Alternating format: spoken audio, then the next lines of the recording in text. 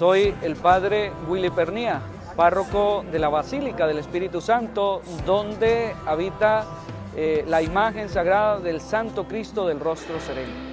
Estamos comenzando estas celebraciones en este año, 413 años que celebramos de la aparición del milagro sucedido allá en una aldea mm, llamada Tadea. Estamos felices y contentos viendo eh, el peregrinar, la alegría de los niños, adolescentes, jóvenes, adultos, todos eh, enmarcando nuestra fe y fortaleciéndonos en un Cristo que nos ama y que nos ayuda a seguir adelante.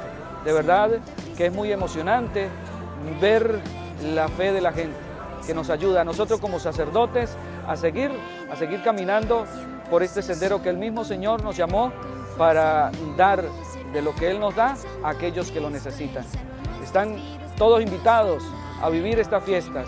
El próximo 23 de este mes vamos a estar trasladando la imagen al santuario donde también seguiremos festejando esta aparición, este homenaje grandioso del Cristo del Rostro Sereno.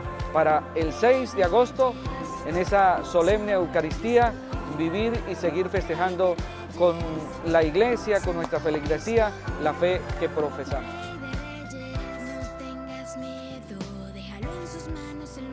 Les habla Víctor Sánchez, coordinador general de la Cofradía del Santo Cristo.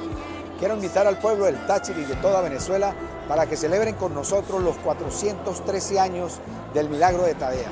La festividad del Santo Cristo de la Grita, que es el patrono y protector no solo del Táchira, sino de los Andes venezolanos y de toda Venezuela, abre sus puertas para que propios y extraños celebren con nosotros esta bonita eh, festividad en honor al Hijo de Dios, porque el Santo Cristo de la Grita es el mismo Jesús. Así que, al igual que nuestro Santo Cristo con los brazos abiertos, los esperamos en la Grita, Atenas del Táchira, para que celebren con nosotros los 413 años del Santo Cristo del Rostro Sereno.